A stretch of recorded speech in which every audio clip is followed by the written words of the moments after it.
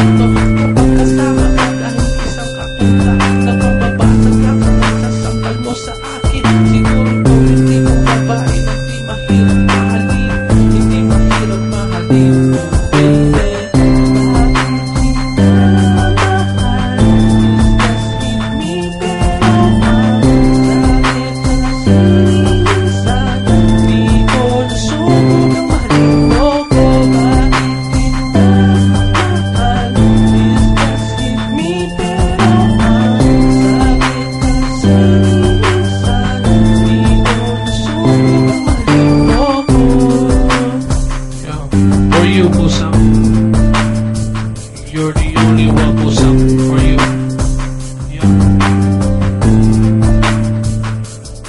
Siguro may feeling is right. Minsan ka na nasaktan kaya takot ka na maulit pa ang lahat. Sana dumating yung time na pagbigyan mo kung mahalin ka at ipadama sa'yo ang tunay na pagmamahal. Dahil minsan lang ako magmahal sa